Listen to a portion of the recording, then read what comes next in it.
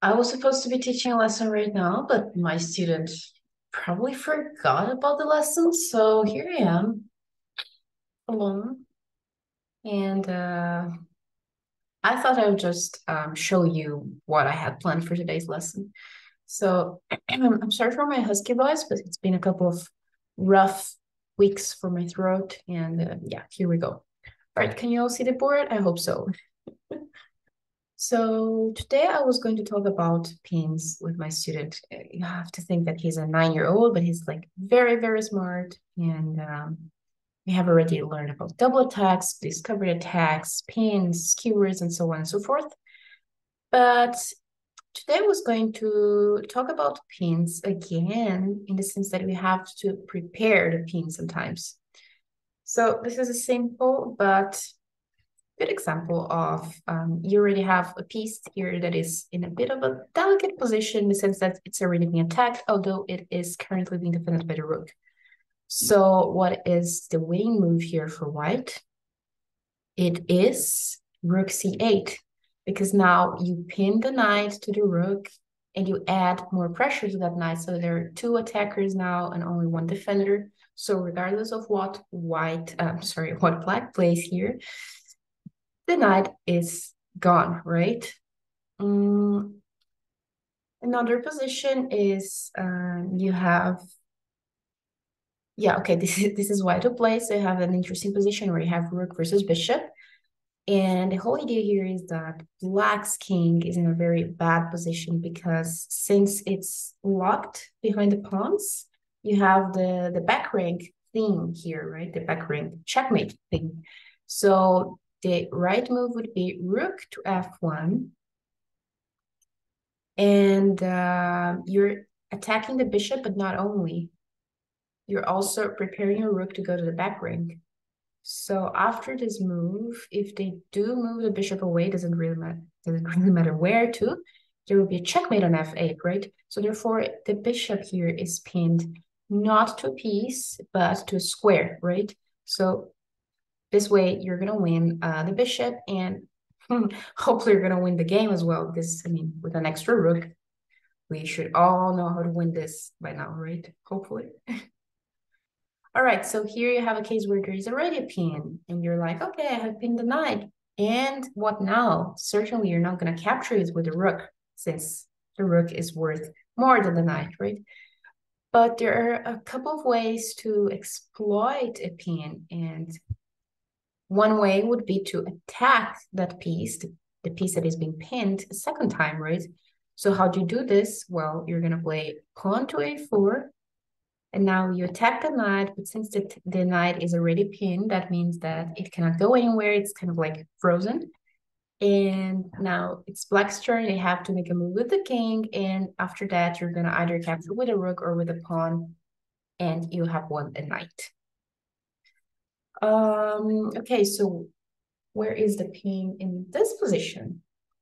It's white's turn. Well, the knight, the black knight is pinned to the rook, right? So if that knight moves, the rook on f7 is hanging, right? So this is a pin. How can white exploit the pin? Perfect. Yes, you're going to play g3. You're attacking the knight a second time. And now black cannot defend that knight. Again, if the knight goes away, then black will lose a rook, which is even worse. So here, the knight is gone. Um, okay, where is the pin in this position? yes, the bishop is pinned to what though? To square. Because if that bishop moves away, then the rook will go to c8, and that is a checkmate since the pawn controls b7 and the rook gives check, right? So in this case, how can you exploit the pin? Well, you attack the bishop. b4, and now black cannot move the bishop away because if they do, they'll get checkmated. So this way, white will have won the bishop and will probably most likely win the game as well. All right, another position. Uh, this is an interesting one because where is the pin happening here? It's for black, right? So what is black pinning? And the idea is that if that knight was not here, black could simply go to h2 and give checkmate, right? Because the queen would be supported by the bishop on e5. So the knight is pinned to the pawn on h2. Well, since the knight is pinned and cannot go anywhere, it's in a very vulnerable position, and therefore black, in order to exploit the pin, will simply move h4, attacking the knight. If the knight goes away, boom, checkmate. If the knight doesn't go away, then you simply win a piece, right? Um, all right. You do have to be careful, however, when it comes to exploiting the pin. So here you already have the knight that is pinned. Awesome. We already know what we have to do. We have to add more pressure to the knight. So use the queen and attack it a second time.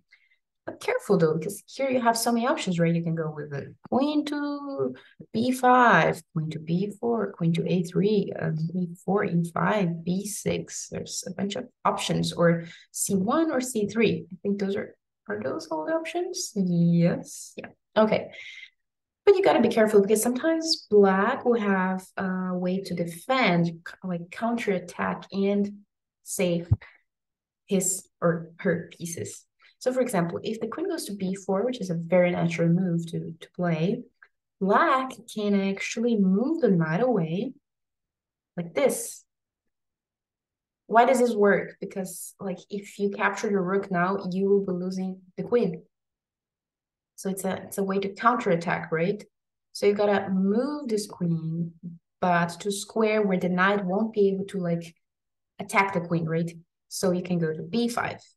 Because now if the knight moves away, then the rook is hanging. And um, for example, if you go to d4, which looks pretty natural, like looks good, again, black has a counterattack, and then they can move the knight to either e6 or b3.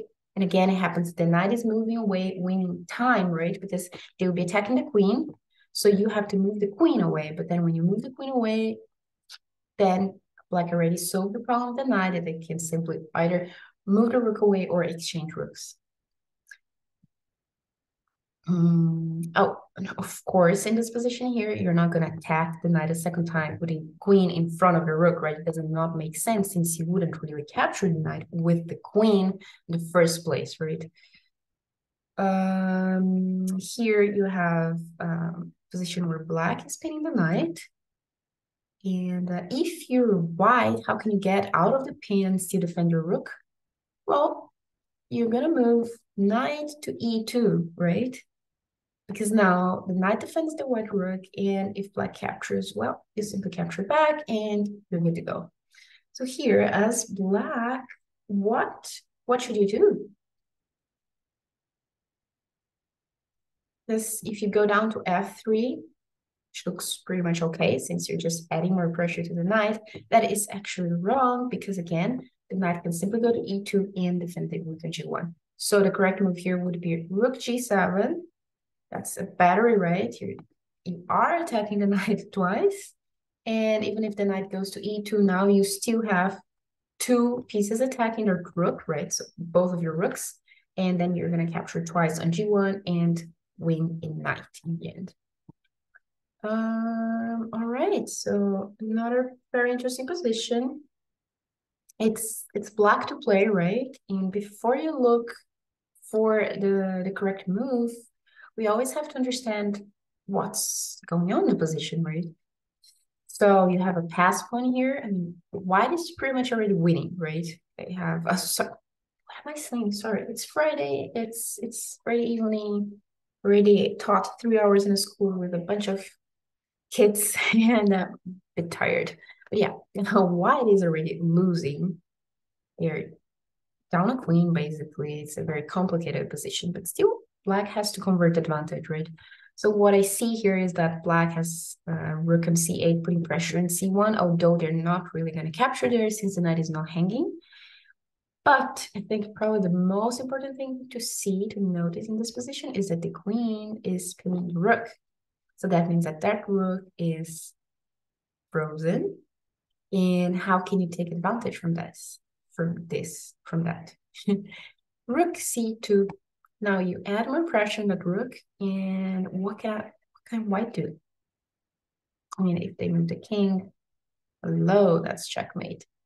They cannot move the knight and defend the rook. They cannot defend the rook with the bishop. So it's it's pretty much yeah, it's checkmate in one move now, regardless of what white plays. So this is a very interesting way. You again, there is a pinned piece.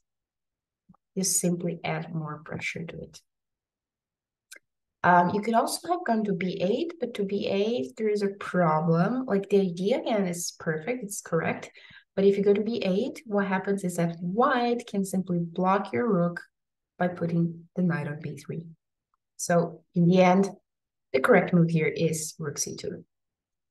And last but not least, um, it's white to play here, and there's checkmating two moves. But before you look for the correct move, try to understand what's going on in position. Look for patterns. So hanging pieces. What is hanging here? Um, well, only the knight is hanging. Okay, can you give check in one move? Yeah, you can with the queen or with the bishop, but I think both of them are not good moves since you're just losing pieces. Um, but as we saw, the pawn on g7 is pinned. Now, if that pawn is pinned, it's not defending h6. So the correct move here is to simply go to h6 with your queen, and now you're simply threatening g7 twice with queen and bishop, and there's nothing black can do here to stop the checkmate. So regardless of what black will do here, there is queen g7 on white's next move in checkmate. I think that was it. Uh, oh, actually, no, this is not it, but I'll leave you this one for you to solve as your um, homework. It seems that it's like actually very nice puzzle. Seems like white is lost, right? The queen is pinned. Indeed it is. There's like this beautiful battery here, very powerful on the second rank. And um, so things are looking pretty bad for white. But there's one move that saves it all. So I'll leave you this. And what am I saying? I'll leave you with this. Let me know if you can solve it. And that was it. If you have any questions, uh, probably don't ask me because I. How, how are you gonna ask me? I don't know. And I, I, I never know how to end a video. Like really, it's like I don't like to say goodbye, guys, and see you next time. But it's whatever. Have a nice Friday. Friday, yeah. Have a nice Friday, and uh, wherever you are in the world, I hope you have a beautiful weekend with lots of sun and pasta. See ya. Bye bye.